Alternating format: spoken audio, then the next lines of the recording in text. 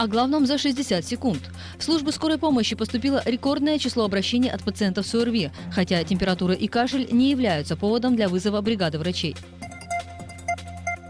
В Тюмени прошла последняя в этом году продовольственная ярмарка. Следующая запланирована на конец февраля 2017 года. 70% молодых инвалидов, проживающих в районах области, отказываются от трудоустройства и предпочитают оставаться на соцподдержке. Часовенный столб осветили в селе Покровское Ярковского района. Он установлен на месте дома Григория Распутина. В Тюмени на пятом открытом турнире городов России по зимнему плаванию американская плавчиха Джейми Монахам поставила рекорд, проплыв 1650 метров за 30 минут 20 секунд.